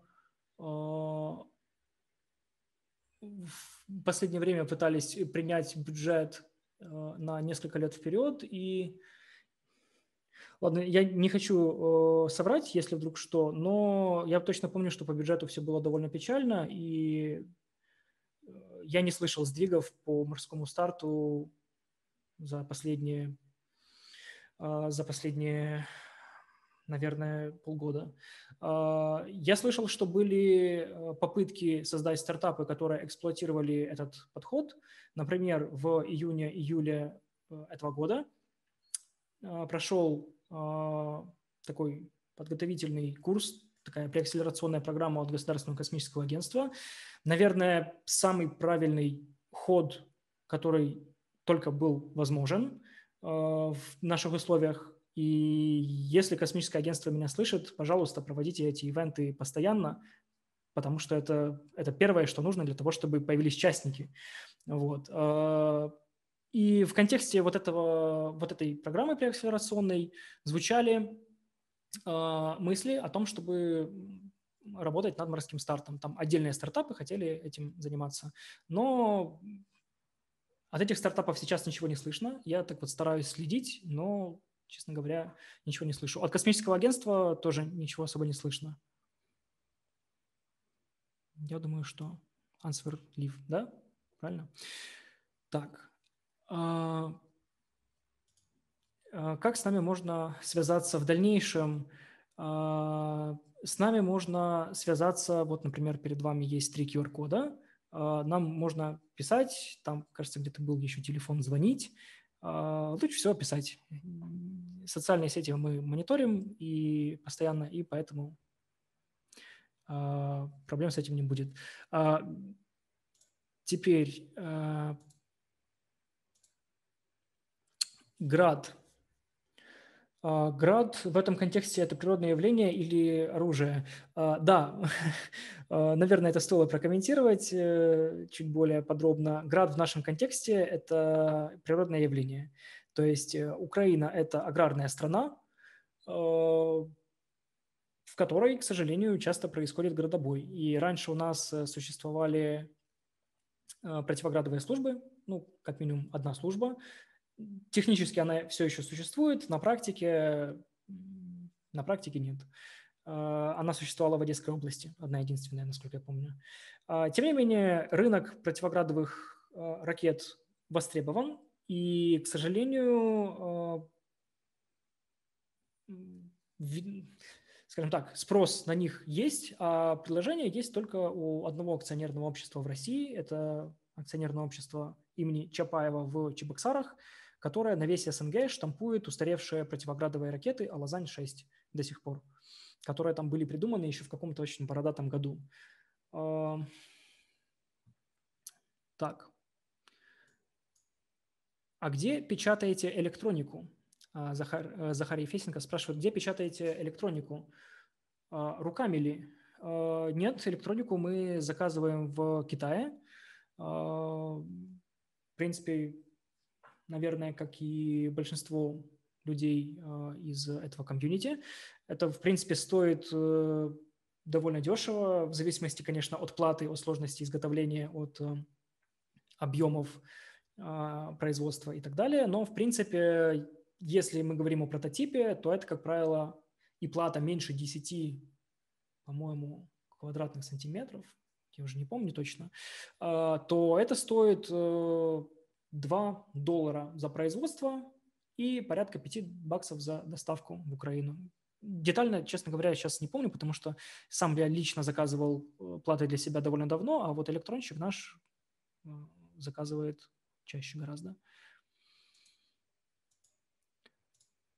Так, Игорь Апанюк а, спрашивает, какая именно RTOS у нас. У нас а, FreeRTOS. Значит, мы разрабатываем под нашей STM, мы для быстроты проектирования ведем разработку, основываясь на HAL библиотеке, основываясь на STM, 30, на STM32 CubeMX, для того, чтобы не вылавливать потом баги с тем, что там какой-то бит мы забыли установить и так далее. А, то есть используем FreeRTOS, который поставляется по дефолту вместе, э, вместе с этим, господи, с CubeMX. А, а, так, тут, в принципе, такой же вопрос, какой RTOS используете в проекте. Я думаю, что можно считать отвеченным. А как вы проводите аппаратное и программное тестирование без физического запуска? Ну, это хороший вопрос. А, значит, проводим а, так, как, как получается. Значит, этот вопрос можно, точнее, само тестирование, да, про которое идет речь а, в этом вопросе, его можно разделить на несколько частей. А, тестирование непосредственно алгоритмов, да, и алгоритмы, с ними, в принципе, все более-менее понятно, потому что их можно, а, их можно симулировать. То есть можно, есть электроника, вот, которая у меня в руке, под нее был написан отдельный файл, в котором были кейсы разные, там, например, данные с в общем, эмулировались данные с датчика давления, там был какой-то секвенс этих данных, его можно было менять, и, значит, э, проверялось, как э, эти данные обрабатывает вот эта вот электроника. То есть это первый момент, который мы делали, который мы вводили. Затем еще один момент – это тестирование, опять же, программное тестирование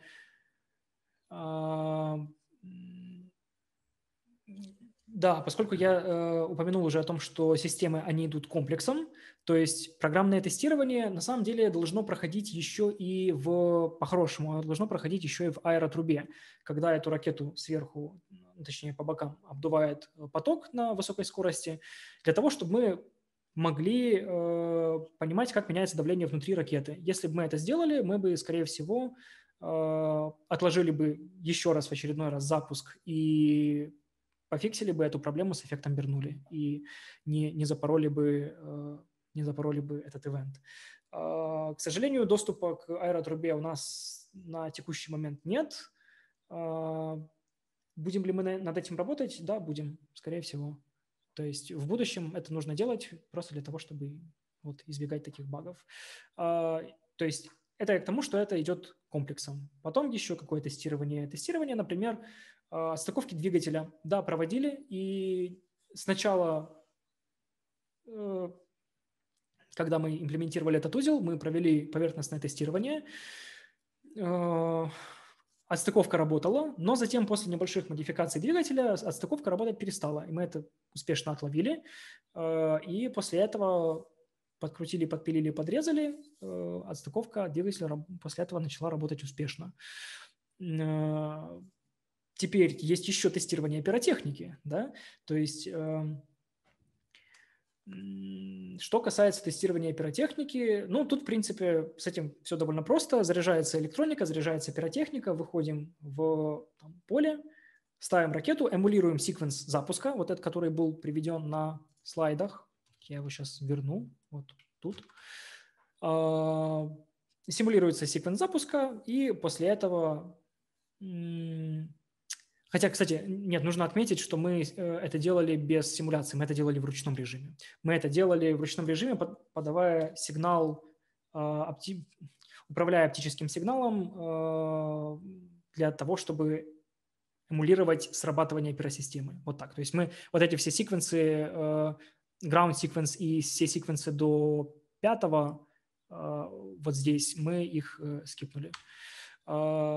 Но в целом, да, пиротехника тестируется. Опять же, запалы э, тестируются, запалы на основе нитроцеллюлозы тестируются. Запалы, к примеру, у нас была проблема э, уже в поле, вообще это был запуск, это был целый день проблем, у нас ничего не, не работало, не хотело собираться, отпаивались провода какие-то. Э, и, в частности, мы применили, э, мы до этого применяли э, состав для эм, инициирования двигателя. Э, состав – это смесь оксида свинца и алюминия. Э, хороший высокотемпературный состав, но поджечь мы его хотели резистором. Э, то есть резистор – это, в принципе, такая довольно надежная схема поджога. Это раньше, как люди брали нехромовую проволочку, на нее, значит, там небольшой кусочек воспламенительного состава, и это работало. Для того, чтобы поджечь вот э, такую вот штуку, мы там, наши, э, например, воспламенители для двигателей или для того, чтобы инициировать пиротехнику, мы используем резисторы, которые раскаляем достойно.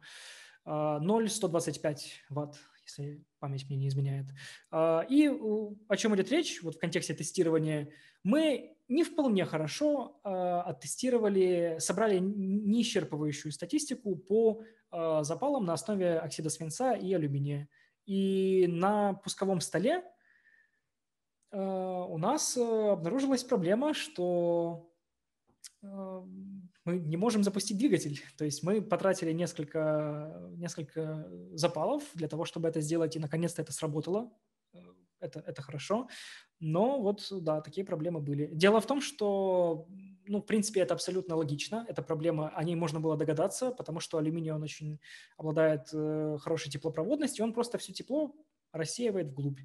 А, вот, и поэтому, поэтому, к сожалению, а, старт был на, на грани срыва. А, но мы использовали более высокоомный резистор, и после этого все завелось. Просто чуть дольше это заняло по времени. Так, Отсилайте, Андрій Братус питає, чи відсилаєте ви онлайн-телеметрію як, в польоті і яким чином? Так, відсилаємо, і взагалі це відбувається дещо не так, як ми очікували, адже сама телеметрія на основі модуля Лора вона не дозволяє відсилати нам пакети більше за 255 байтів. Тому і так, такі пакети у нас е, були самому, на самому початку, але потім ми це все порубали, скоротили дебажну інформацію і, в принципі, вирішили цю проблему. Але була ще така проблема, що у нас е, в якості антени встановлена звичайна штирьова антена е, для 4, е, на діапазон 433 МГц. і е, через те, що ракета крутиться, вертиться е, в польоті, через те, що діаграма її напрямленості, вона ну.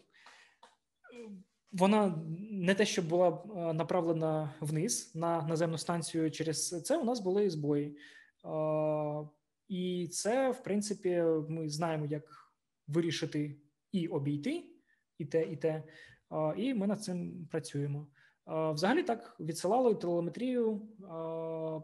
Ми відсилали ключові значення стейт машини для того, щоб розуміти, для того, щоб роздебажити, що там відбувається, і, і або відбувалось після запуску. Тобто ми дебажили стейт машину, дампили, і ми. Ну і ключові такі моменти, як GPS-координати, також ми відправляли. Так. Имеет ли смысл, Максим спрашивает, имеет ли смысл контролировать давление, пока э, работает двигатель? Давление, давление чего? Э, давление э, внутри ракеты имеется в виду. Э, тут, э, ну, я могу предположить, что имеется в виду давление внутри ракеты. А, э, пока работает э, двигатель, нет, не имеет. И, и мы давление не контролировали.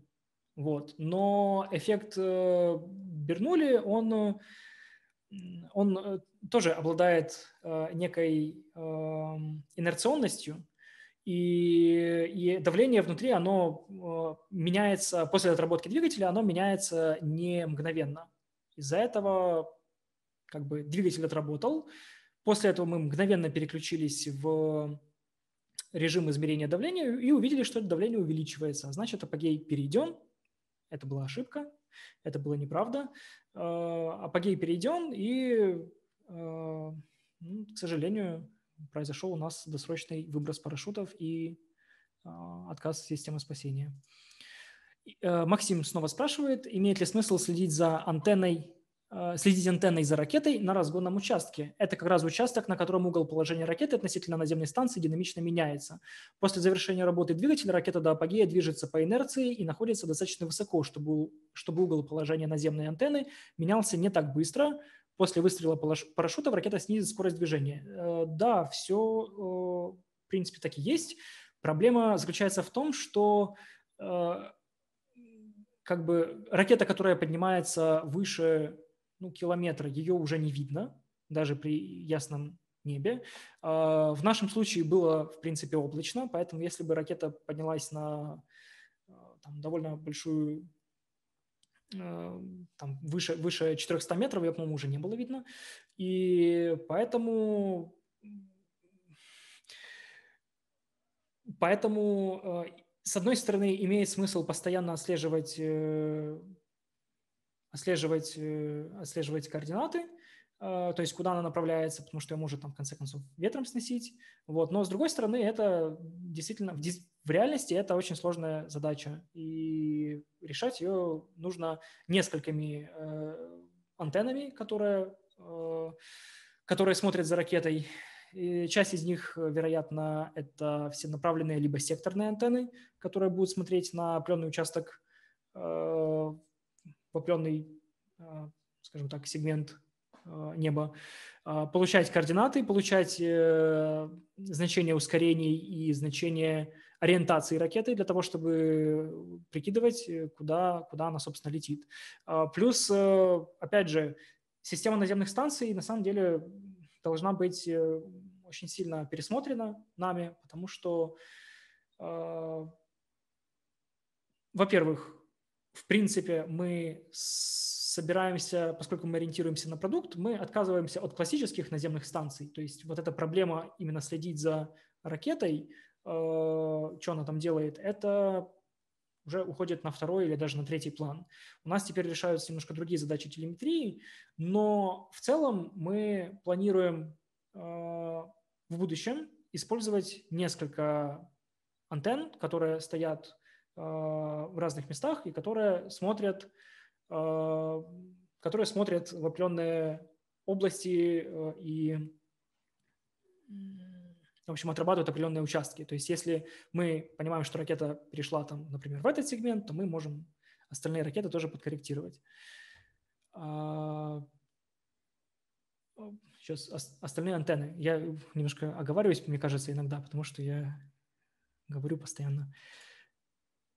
А, так, Богдан Боровик спрашивает, если хочешь работать в космонавтике, делать что-то крутое, важное и, возможно, свое, есть ли для этого какие-то перспективы в Украине и стоит ли оно того, или лучше работать за границей? Также стоит ли учиться в Украине на этой специальности или лучше со временем перейти учиться за границу? А, я перешел учиться за границу.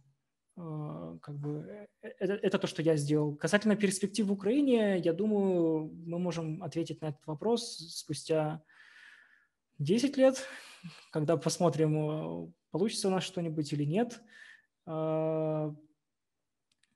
Что касается моего субъективного мнения, которое я никому не навязываю, в Украине есть все перспективы, но для этого нужен системный комплексный подход. Кто-то упомянул, по-моему, системный подход э, на, во время голосования, и это абсолютная правда. То есть э, для того, чтобы что-то работало, нужны цели, задачи, которые поставлены государством, желательно государством. Если таких задач нет, ну вот в случае с нами мы ставим их себе сами, и мы собираемся двигаться в область э, коммерческую. Если эта область э, не взлетит э, в Украине, значит, мы будем ее взлетать в других местах. Но да, изначально наш интерес, чтобы это работало у нас. Плюс у нас есть для этого технические возможности. Плюс у нас довольно, на самом деле, если это анализировать, у нас далеко не самая худшая налоговая система для того, чтобы строить хотя бы, например, R&D-центры в Украине. Да, то есть э, я считаю, что да, это перспективное направление. Стоит ли учиться в Украине? Э, есть, э, как бы, есть университет имени Олега Гончара в Днепре, где учат в том числе там есть ракетные специальности, плюс там есть сфера, которая на хорошем продвинутом уровне занимается ракетостроением экспериментальным. Поэтому, в принципе, есть с чего начинать. А, Виктория Таранюк пишет, супер, спасибо. А, Кейт М, наверное, Катя Манько, спрашивает, а, расскажи, какое топливо сейчас используете? Сейчас мы переходим на композитное топливо на основе, у нас прорабатываются два типа топлив. Это на основе этого, господи, перхлората аммония и нитрата, э, на основе перхлората аммония и нитрата аммония, э, так называемые ANCP и APCP. Э, эти топлива композитные, у них там есть органическая, органическая связка, горючая. И, в принципе, сейчас мы эти топлива испытываем. Есть прожиги самого топлива, которое мы сейчас оптимизируем а, по зажиганию, скажем так. То есть э, есть составы, скажем, есть составы, с которыми, которые мы взяли за основу. Это составы э, американского ракетчика, Ричарда Наки, и которые мы сейчас оптимизируем, чтобы их было гораздо проще производить, потому что там видно, что есть, есть что оптимизировать. А, помимо этого мы работаем над тем, чтобы их было проще зажигать, то есть это воспламенительные составы. А, ну и есть еще топливо, на которое мы а, нацелены, но, скажем так, это в перспективе. Пока что, пока что мы о них, наверное, говорить не будем. А, перед этим мы использовали, вот, например, 24 августа мы использовали карамельное топливо, так называемое, называемое э, любителями э, это топливо, которое состоит из нитрата калия и сорбита, так называемая сорбитовая карамель. А, Причем не просто сорбитовая карамель, а еще с фероксидным катализатором, из-за чего мы немножко подняли себе удельный импульс. Но все равно удельный импульс у нас получился, ну, не то чтобы самый хороший, у нас получилось 120 4 или что-то в районе того, 124 секунды удельный импульс. Это для карамели нормально, вообще для ракетных двигателей – слабовато. То есть вот это причина, по которой мы э, переходим на композитное топливо. Плюс композитное топливо, они э, зависят, конечно, от самого топлива, но они менее гигроскопичные, то есть они менее склонны к тому, чтобы поглощать воду, потому что с карамелью, э, с карамельным топливом вот этим у нас уже были инциденты, когда я приготовил прекрасную, шедевральную, волшебную топливную шашку, все это, значит, собрал вместе, но по идиотской случайности э, я это забыл упаковать в сухое герметичное э, хранилище. Вот. И по идиотской случайности в этот день случился дождь. И когда я вернулся э, и посмотрел на то, что на то, что осталось от топливной шашки, ну, в общем, пришлось сделать новое. Вот. А как вы относитесь к high altitude ballooning? А, хорошо относимся, но не занимаемся. Существует э, стартап э, киевский, который называется Space Cossacks, который я упоминал, который развивает эту идею очень интенсивно, и мы за ними следим, мы за них болеем. Стартап, который тоже участвует э, в выставках, у них тоже есть прототип, и более того, насколько я помню, они кажется, они готовились запускать, э, запускать что-то вот в скором времени, снова запускать. То есть они уже запускали э, на большую высоту, к сожалению, не помню на какую, прототип, э, и они планируют делать это снова. Плюс э, у них есть четкое, опять же, что мне очень нравится, у них есть четкое видение, куда они движутся, э, и они медленно, но методично работают в этом направлении. Например, они обустроили лабораторию, в которой у них есть сейчас э, барометрический стенд, который позволяет э, эмулировать э, перепад давлений. У них есть вибростенд, что позволяет проверять электронику. К сожалению, мы не смогли проверить электронику на вибрационной нагрузке, но это в будущем мы делать в обязательном порядке будем. У них есть вибростенд, Э, то есть они в это дело вкладывают. У них есть помещение свое. У нас, например, своего помещения нет. Ракеты буквально делались на кухне. Те, кто следил за моей страницей, видели, как там значит, такая панорама, кухня. Тут, значит, где-то стоит чаек, а тут, значит, прям сохнут топливные шашки э, из карамельного топлива. Вот, то есть чуваки к этому относятся довольно серьезно и движутся в этом направлении. Рекомендую подпишитесь, следите, потому что только вот за такими вещами, по моему, по моему субъективному мнению, которое я никому не навязываю, только за такими субъективными, сори, заговариваюсь, только за такими перспективными вещами в Украине может быть будущее. То есть э, я не считаю, что Украине нужно продолжать, продолжать гнаться за построением э, космических кораблей, как у Илона Маска, э, несмотря на то, что у нас вроде бы как есть к этому возможности, у нас нету к этому э, государственного стимула. И то, что мы реально можем делать и где мы действительно можем конкурировать, это New Space. То есть это коммерция в таких вот всяких вещах. Мы выбрали для себя два направления э, – противоградовые ракеты и доставка дронов на большую высоту. А вот товарищи выбрали э, э, запуск стратос, э, стратостатов. И это прекрасно. Алина. Підкажи, будь ласка, хороші ресурси по теорії ракетобудування, архітектура, двигуни. Дякую.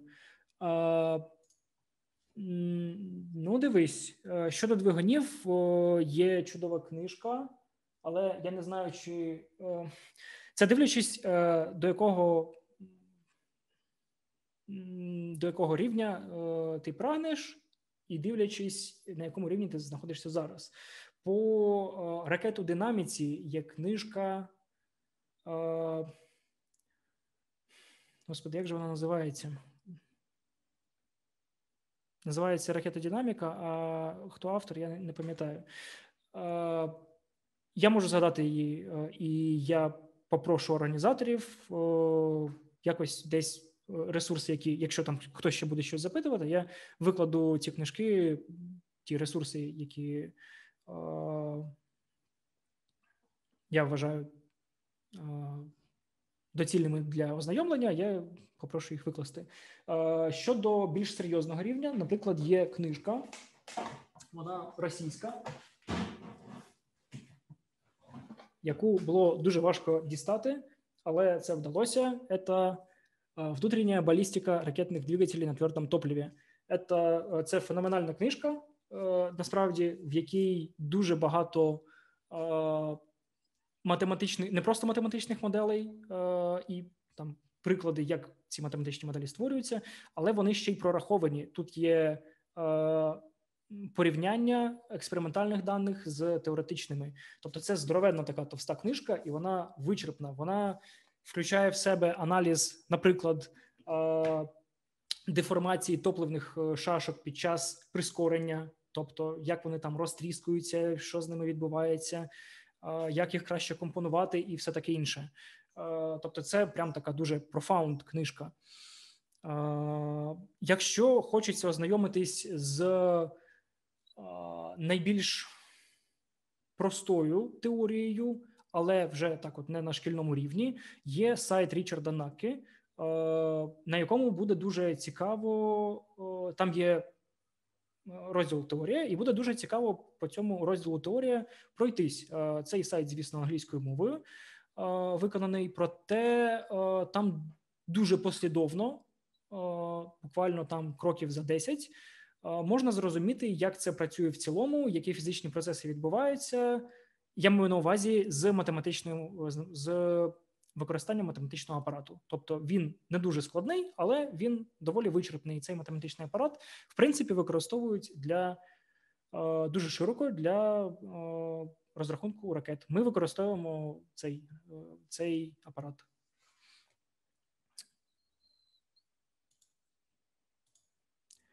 Расскажите, Андрей Шелестов спрашивает, расскажите про противоградовые ракеты по возможности. Какие задачи решаются, какими будут ракеты? Что касается противоградовых ракет, значит, э, у нас аграрная страна, и у нас э, существует э, довольно актуальная проблема градобоя. На самом деле не только у нас, вообще эти проблемы существуют, например, Ставропольский край, там где Краснодар, вот это вот все. В Осетии тоже такие проблемы существуют, и там эти ракеты, кстати, применяют до сих пор. А, и то есть есть рынок а, фермеров, которые в этом заинтересованы. Да, во-первых, как эти, как эти проблемы сейчас решают фермеры? У них есть так называемая страховка, которая покрывает вот эти вот, покрывает градобой.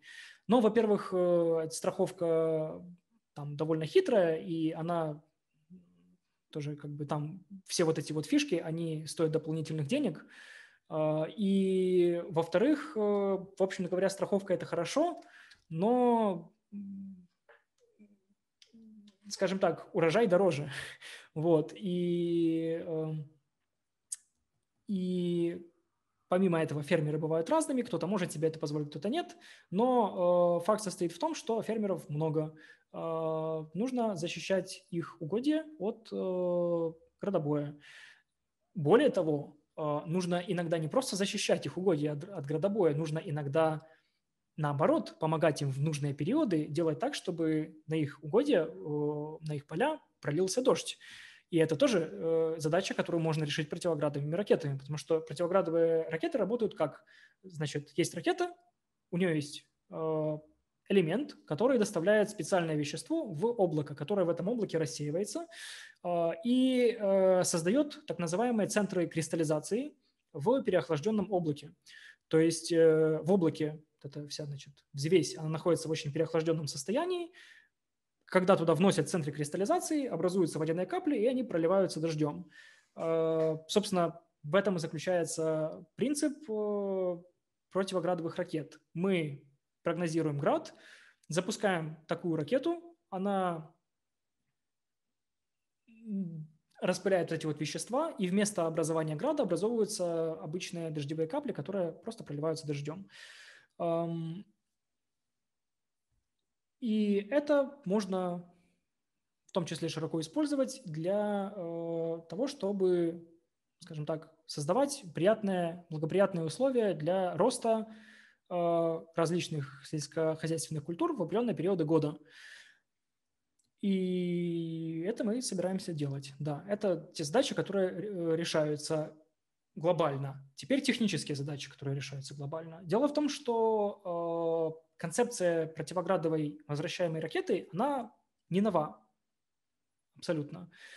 Э, и, например, в 2003 году, по-моему, или в общем, в районе, э, русские представили противоградовую э, ракету семейства «Алан», которая, которая возвращалась на парашюте. Но если мы посмотрим, то есть это, эта ракета была, она эффективна, и там по всем показателям она довольно-таки ничего, Но если мы посмотрим на то, что с этой ракетой случилось, мы видим, что ее на рынке нет. А, потому что есть, э, скажем так, проблема с тем, как это... То есть проблема не в том, чтобы ракету вернуть, проблема в том, чтобы организовать, как бы это сказать, инфраструктуру, потому что ракеты должен кто-то возвращать.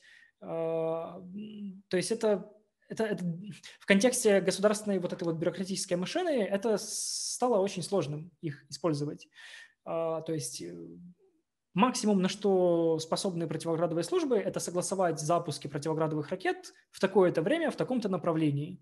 А, то есть это вот так вот работает. То есть есть противоградовые службы, например, в Одессе, у них есть э, пусковая установка, они ее просто направляют по азимуту и по высоте, согласовывают с Укравиарухом, э, что они будут проводить запуски, запускают и, собственно, там, в каком-то радиусе от себя разбивают вот эти вот градовые облака. Вот. Но на самом деле, если эти ракеты, эти ракеты, которые они запускают, они одноразовые, то есть Алазань-6 и там все остальные практически ракеты, они одноразовые, они э, уничтожаются в тротиловой шашкой, которая находится внутри. Вот. Э, соответственно, как, бы, как только появляется необходимость эти ракеты как-то возвращать, это становится сложно. Ну вот люди с этой проблемой не справились, и ракеты э, такие не прижились. А мы знаем, как сделать так, чтобы прижились. А вот. Это техническая проблема, которую мы э, решаем. Какими будут э, ракеты, пока что мы об этом рассказывать не будем. Э, но ракеты будут интересными. То есть, э, скажем так, они будут возвращаемыми, и они будут, во-первых, за счет их возвращаемости будет э, достигаться их э, а, высокая, высокая рентабельность. То есть одна ракета Алазань-6 стоит 300 баксов, при том, что эту, эту ракету потом просто уничтожают. Стоимость, рыночная стоимость ракеты Айрис ревизии второй которая разрабатывалась под другую модель, то есть это бизнес-модель, мы от нее сейчас отказались, но которая разрабатывалась под э, определенную бизнес-модель, составляла 900 долларов. Но а, ракеты такие окупались за два сезона. Окупались бы за два сезона, ну, согласно этой модели. Вот. То есть э, то, что будет у нас, это еще лучше, чем Iris 2, еще проще, чем Iris 2, и, скорее всего, это будет еще и дешевле 900 долларов, то есть еще дешевле, чем, чем то, что было. Это будет прекрасно, если это получится сделать. Кейт М. снова спрашивает, и еще расскажи, пожалуйста, суть антиградовых ракет. Ну, в общем, в общем, вот, только что рассказал, я думаю. Денис Низовець питає: Дякую за доповідь. Можна більше інформації про High Altitude Observation? Також цікавить організація запусків, юридична сторона, які обмеження в цьому плані. Щодо обмежень, ми зараз якраз працюємо над цим. Вважаємо, що це можна вирішити, тому що в принципі є люди, які вони запускали не ракети, але вони запускали на велику висоту дрони. І, в принципі, зараз з цими людьми консультуємось, і я гадаю, що зможу проконсультувати, як тільки ми самі е, самі з цим розберемось. Щодо High Altitude Observation, це проект, який ми проробляли в контексті преакселераційної програми е, від Космічного агентства України в червні-липні цього року. І е, в принципі, ідея доволі проста. В принципі, ідея доволі проста. Е, береться невелика ракета, у якої є грозовий відсік для дрону. Дрон складається спеціальним чином. Він складає свої ці елементи з пропелерами, е, складається спеціальним чином. До речі, я бачу, що зараз 12.47. Якщо що, прошу організаторів мені нагадувати про часовий ліміт, тому що я не знаю. Там а, да, у нас в 14.00. Які у мене є обмеження, тому що я бачу, що питань менше не стає.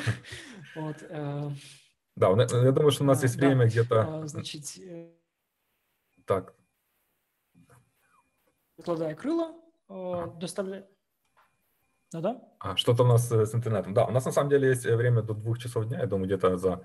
А, ну, я думаю, что у нас есть время еще на пару вопросов точно. И а, при, примерно за несколько минут нам нужно будет закончить, чтобы иначе нас привет автоматический Zoom. Я, ага, я в общем понял, скажу, хорошо. скажу когда. Я думаю, что мы дискуссию хорошо. сможем продолжить в нашем комьюнити под темой э, задавать вопросы и там, а, да, у нас, я уже там запостил постик, там уже начали что-то писать а, на, в комьюнити, поэтому можно будет и там продолжить также. Да, но пока у нас еще есть время Понял. на несколько вопросов, а, поэтому, да, не мешаем. Хорошо, да. Що стосується High Altitude Observation, це ракета, яка виводить дрон, який а, має а, який може складатись а, в подовжній Е, по подовжній осі, пакується в грузовий відсік невеликої ракети висотою до 2 метрів і запускається на висоту ну, приблизно 5-7 е, кілометрів. Якщо порахувати, то на цю висоту дрон буде підійматися, по-перше, доволі довго. Е, якщо зробити так, щоб він підіймався швидко, то він в режимі форсажу взагалі виїсть увесь заряд батареї, і це буде неефективно. Але навіть якщо він буде підійматись повільно, він насправді з'їсть до 50% свого заряду. Чому не використовувати е, дрон літак? В принципі, проблема там така ж сама. Якщо порахувати е, середній дрон літак, то він е, буде доволі довго набирати висоту, і він буде він витратить доволі значний запас батареї, коли він дістанеться певної висоти. Звісно, спостерігати можна і з меншої висоти, проте найчастіше при стихійних лихах, наприклад, Австралія це класичний приклад з лісовою пожежею, що була в 2020 році на початку. Вони були дуже зацікавлені в тому, щоб використовувати спутникові знімки. Проте спутник він пролітає. Ну він не висить постійно над Австралією. І тому це пропонувалось як е, така заміна, лоу-кост заміна. Адже якщо ми, наприклад, будемо робити аерофотосйомку з літака, це також доволі значний запас е, палива. Тобто, тут ти запустив ракету, вона вивела дрон, ракета спустилась в певну точку. Е, після чого просто перезаряджається топло паливна шашка, і е, дрон знаходиться в повітрі і спостерігає за певним сектором ну десь годину. І в принципі, е, такий спосіб доставки дозволяє нам оптимізувати деякі параметри дрону, наприклад, е, кут нахилу, е, оптимізувати кут нахилу е, лопатей під певну висоту тому що від висоти там залежить е, від розрідженості е, повітря, залежить ефективність е, цих лопатей, і тому це можна оптимізувати також і тим самим продовжити час зависання дрону на великій висоті. Вопросы Семен Хетрик спрашивает, или Гетрик, прошу прощения. Вопрос из серии «Если бы, помог бы дрон с камерой на время испытаний для контроля за местом испытаний движка.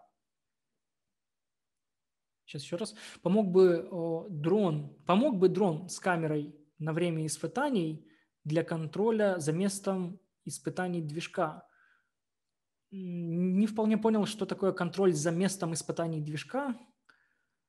Э, наблюдать испытания двигателя с воздуха. Если наблюдать э, запуск ракеты с воздуха, да, помог бы однозначно, и мы не публиковали объявление о поиске э, человека с дроном только по той причине, что мы находились в дичайшем темпе подготовки, и мы просто не имели на это времени. Да, дрон, которым э, мы могли бы заснять старт ракеты сверху, то есть сверху это очень важно для анализа того, что там происходит наверху, э, очень помог бы, да. В каких, дальше вторая часть вопроса, в каких числах, порядках измеряется расстояние потери движка, э, как далеко вы от него находились? Э, мы находились во время его падения, то есть мы слышали, как упали все элементы ракеты, слышали довольно четко, но обыскав в радиусе, наверное, ну, наверное, 100 метров, я думаю, э, в радиусе 100 метров от того места, где нашли именно ракету, то есть упавшую ракету, мы ее нашли, мы все нашли, кроме двигателя. Э, обыскав все место в радиусе 100 метров э, вокруг упавшей ракеты, мы не смогли его найти. После этого тоже ходил один из чуваков из нашей команды с металлоискателем, и все равно найти не смог, к сожалению. То есть где-то он там вот упал. Вероятно, из-за того, что ракету развернуло парашютом, и в этот же момент произошла стыковка двигателя. То есть он улетел немного в бок. Но куда точно мы сказать не можем, к сожалению. Александр спрашивает, в Э, Национальном космическом агентстве Украины были ежегодные молодежные конференции ближе к 12 апреля. Если так, это прекрасно. Я э, абсолютно полностью поощряю любую активность, которая исходит от космического агентства, которая направлена на даже не столько на популяризацию, потому что те, кто, те, кому это интересно, они и так занимаются, э, сколько на стимулирование коллективов работать в коммерческом ключе. А, опять же, как я уже говорил, по моему мнению, это единственный путь э, действенный, который, э, который Украина и украинские стартапы могут выбрать для, для, для того, чтобы становиться космическим государством. То есть у нас для этого все есть, но функция государственного космического агентства должна быть не в том, чтобы строить корабли, как у Илона Маска, а она должна быть в том, чтобы поддерживать развитие приватного сектора потому что, опять же, в 2019 году приняли закон про частное, э, частное ракетостроение, ожидали, что сейчас внезапно, как грибы из-под дождя, э, после дождя, грибы из-под дождя, господи, как грибы после дождя полезут э, частники, а частники не полезли, потому что для них нет бэкграунда, потому что их никто не поддерживает. Вот, э, вот об этом идет речь. Это прекрасно, если есть такие молодежные конференции, я только за.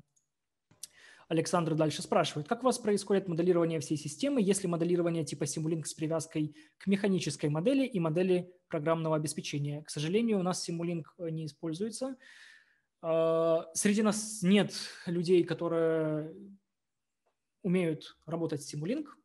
А, и, в принципе, про тестирование я рассказал, а про моделирование я тоже немножко рассказал, например, про модель, как я моделировал кейс с давлениями. То есть это симулировалось, но в симулинке мы такие модели э, не строили. Это правда. А, Станислав, я буду вынужден тебя прервать, потому что а, у нас уже почти добежало время до конца. Угу. У нас есть больше 30 неотвеченных вопросов. А, это прям очень много, мы точно не успеем. Я думаю, нужно было резервировать часа 4 этот а, доклад. Очень интересно было послушать про э, ракетостроение. Могу в двух словах сказать еще, что у меня э, родственник э, когда-то в начале 90-х где-то работал тоже на градобоне, ну, как раз именно из Одесской области, он там в этом всем участвовал. А, да, очень, очень было интересно послушать. Я смотрю, что очень большая реакция. Ты уже успел ответить на почти 30 вопросов и еще 30 в очереди. Поэтому, э, к сожалению, мы это все не успеем. А у нас есть embedded community. Э, кто-то спрашивал ссылку, э, на него я уже ответил. А, я там уже запостил небольшой пост, затравочку. В принципе, можно под ним а, задать эти вопросы еще раз. А, если кто-то хочет тоже выступить с аналогичным докладом, а я знаю, что многие МБщики не занимаются на самом деле интересными вещами, пожалуйста, мы всегда открыты. У нас тут есть площадка, пишите нам,